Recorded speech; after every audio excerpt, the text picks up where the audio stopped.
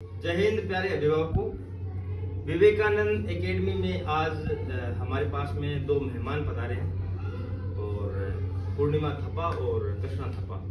दोनों के दोनों वैसे तो आसाम से बिलोंग करते हैं, लेकिन बेंगलुरु में टीचिंग करवा रहे थे तो बेंगलुरु से अपने पास में आए हैं। पूर्णिमा थप्पा बीए बीएड है, और कृष्णा की ग्रेजुएशन कंप्लीट है बीएड भी चल रही है।